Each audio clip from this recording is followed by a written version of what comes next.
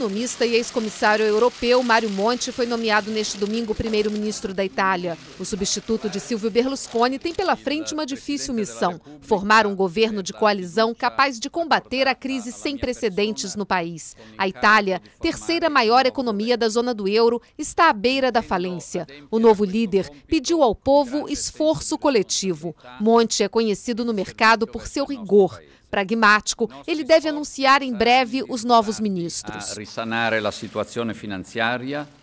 Nossos esforços serão para estabilizar a situação financeira, focar na renovação do crescimento e dar uma atenção especial a uma maior igualdade social.